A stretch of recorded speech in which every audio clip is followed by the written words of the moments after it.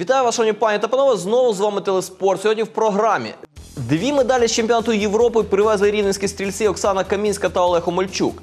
Проиграть всего лишь одно очко первому месту, как бы чуть-чуть от последняя моя девяточка, конечно. Кардинал зазнає чергової мінімальної поразки цього разу 0-1 від урагану. Где вы без удачи видели футбол? Пульсар теж програє двічі харківському політехніку. Мы бьемся и сражаемся за призовое место, и нам эти победы как воздух нужны. Про це не тільки дивіться сьогодні у телеспорті. Традиційно розпочнемо з міжнародної інформації. Одразу дві медалі з чемпіонату Європи зі стрільби з пневматичної зброї, що завершився у датському місті Оденсе, привезли рівненські пістолетники Оксана Камінська та Олег Омельчук. Обидві медалі наші земляки вибороли у командному заліку. Камінська разом з олімпійською чемпіонкою Оленою Костевич, а також менш титулованою Інною Клименко здобула срібло. Причому від чемпіонок сербок наші дівчата відстали зовсім трішки. Проиграть всего лишь одно очко первому месту, как бы чуть-чуть вот последняя моя девяточка, конечно, помешала выиграть. Вот. Конкуренция сильная, сильные девчонки, но в ряд того, что изменились, изменились правила соревнований, там сократили время на стрельбу, и из этого поменялись результаты, они существенно, в принципе, стали ниже результаты, но к этому нужно привыкнуть. Втім, сама Оксана показала найкращий з українського тріо результат. Пригадує, налаштуватися на боротьбу у дощовому Оденсе було непросто. Это город находится на острове Фюн.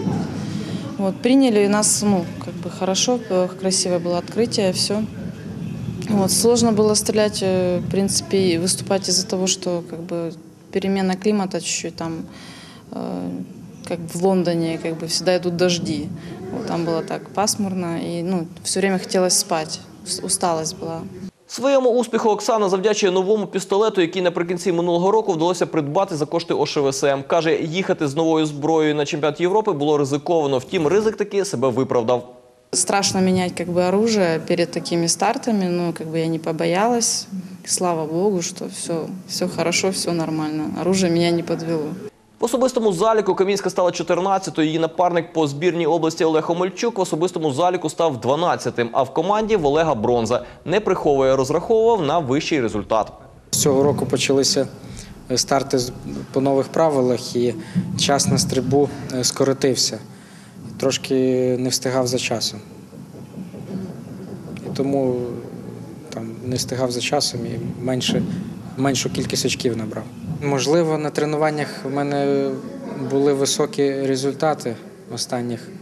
Ну, останній збір і останні тренування. Як, як з психологічної точки зору, е, перед стартом я знаю, що це не дуже добре в нашому виді спорту. Бо якби це трошки розслабляє. І можливо, через це можливо потрібно було менше стріляти перед самим стартом, а більше в холосту працювати, щоб е, запам'ятати чистоту роботи. Тренер Олега та Оксани Сергій Бондар говорить, такого, щоб одразу двоє наших дорослих спортсменів на чемпіонаті Європи здобували медалі, ще не було. Хоча загалом цей результат вважає закономірним. Нам в Рівному вдалося збудувати таку систему, не дивлячись на багато нюансів, які в нашому суспільстві є, яка вже нам приносить плоди з 2001 року. Тоді була перша медаль чемпіонату Європи золота. І от на протязі до цього часу вже в нас п'ять чоловік привезли медалі з Європи і світу. Достойно виступили на двох олімпіадах, виграли Кубок світу. І зараз дві медалі. Це дуже е, добре. Є люди, які допомагають будівництві цієї системи. Ну і є люди, які нічого не розуміють, чи просто туди лізуть. Саме головне це не пускати їх туди, просто Чемпіонат Європи зі стрільби з пневматичної зброї став першим серйозним стартом у новому сезоні. Попереду аналогічна першість з малокаліберної зброї, а також етапи Кубка світу. Тому почувати на лаврах Омельчуку та Камінській довго не доведеться. Уже с 11 числа у нас опять сбор. Вот, готовимся на международное в Дортмунд ехать, в Германию. После Дортмунда пойдет ряд этапов Кубка мира. То есть там Германия будет, Америка, Испания. И уже как бы это идет отбор на следующий чемпионат по мелкокалиберному оружию. Мініфутбольний клуб Кардинали Рівне зазнав вже третьої у нинішньому чемпіонаті поразки з рахунком 0-1. Причому вдруге так нашу команду обіграв Івано-Франківський ураган. І якщо у виїзній грі цей результат був більш-менш закономірним, то вдома фортуна була категорично проти рівнян. У поточному чемпіонаті це було вже третє побачення команд, а тому усе обійшлося без особливої розвідки. Зі старту івано-франківці, укомплектовані трьома бразильцями та поляком, діяли трішки гостріше, хоча і кардинал не сидів у захисті. Ось у цьому моменті Віталій Танський влучив у поперечину. На таку зухвалість ураган на 15-й хвилині відповів голом. Петро Шатурма відпасував на Павла Будніка, той прострілив на Валенка, і Євген в один дотик переправив м'яч у ворота. Ще до перерви відзначитися могли обидві команди. У рівнян спочатку небезпечно пробив Мар'ян Маринюк, а потім Юрій Когут не реалізував вихід один на один. Цим же через хвилину відзначився і ураганівець Роніньо.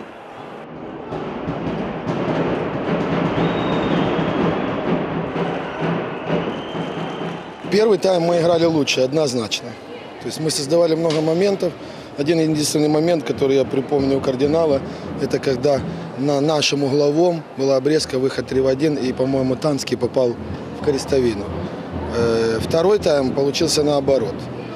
Почему? Ну, я думаю, скорее всего, что это все-таки издержки, то, что мы играем на четвертый день. У нас очень много переездов. Мы в Янакиево на Кубок играли, и Хмельницкий, и ну, очень много переездов, поэтому немножко, может, физически мы, даже, может, больше не физически, сколько морально мы чуть подсели. Это вот было видно по второму тайму, потому что э, начали первую смену вообще отвратительно. Потом уже чуть-чуть, чуть-чуть наладили, но опять-таки выдержали, вытерпели. А натерпівся ураган після перерви добряче, особливо, наче білка в колесі, крутився його голкіпер Кирило Ципун. Залишимо другу половину без коментарів.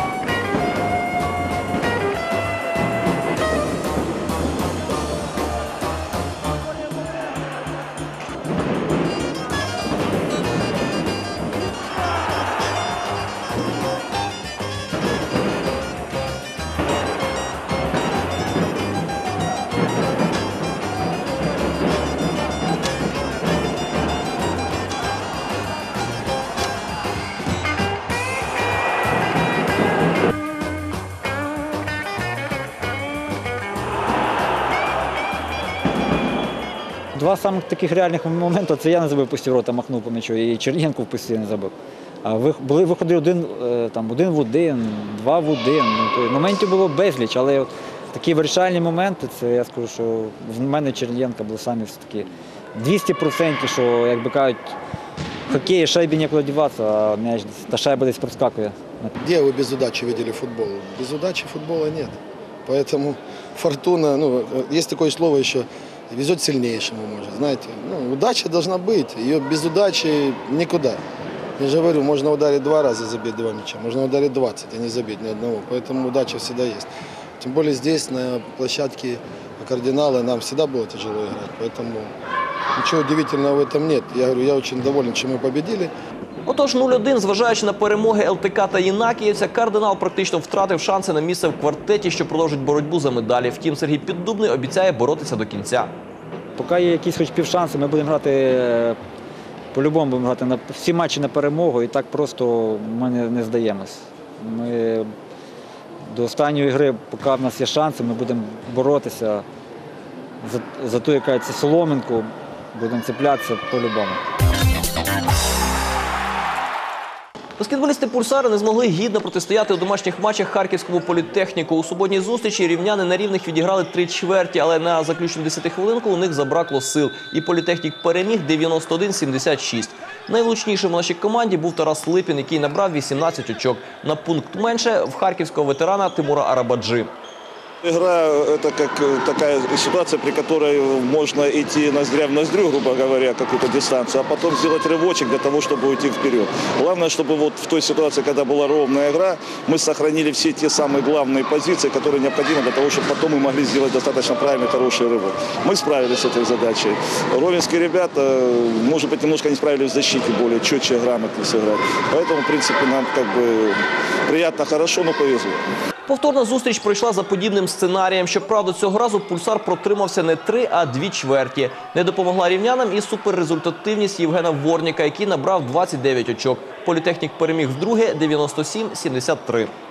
В этом туре встречались две команды с такой давней, хорошей, доброй историей. И они, и ваша команда ровно, Пульсар организовал в 93 году, и наша команда организовала в 92 году. И вот уже 20 с лишним лет мы играем в чемпионате и очень часто между собой встречаемся. Наши игры всегда достаточно интересные, принципиальные, вызывают достаточно такой интересный, хороший ажиотаж. Мы очень рады тому обстоятельству, что у нас сейчас игра сложилась достаточно лучше немножечко, чем у нашего соперника. Но, в принципе, нам это и необходимо было. Мы бьемся и сражаемся за призовое место, и нам эти победы как воздух нужны.